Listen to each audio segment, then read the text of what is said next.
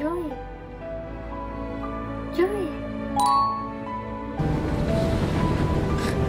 Kumusta?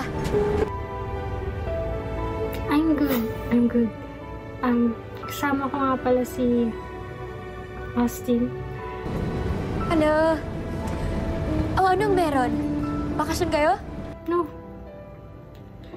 Um, ang trip na to, para dapat sa meeting namin sa mga investors sa business. Doon pa din kayo? Joy, ang nangyari sa... Joy, maniwala ka, Joy. Hindi kita ginustong saktan. Hindi kita ginustong iwan. Pinigilan ko, iniwasan ko yung nararamdaman ko, pero hindi eh. Hindi kaya.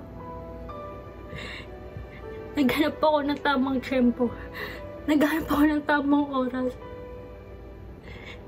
Hindi ko lang din talaga alam kung paano ko sasabihin na yung boyfriend mo ginagawa ko. Wow! Galing! Best friend mo ko eh. Hindi ko alam kung paano ko sasabihin. Nag-iisa ko best friend. Pinayder ka. Hindi ko alam kung paano, kailan, saan ko sasabihin. Kaya umalis kami ng Dubai, Joy.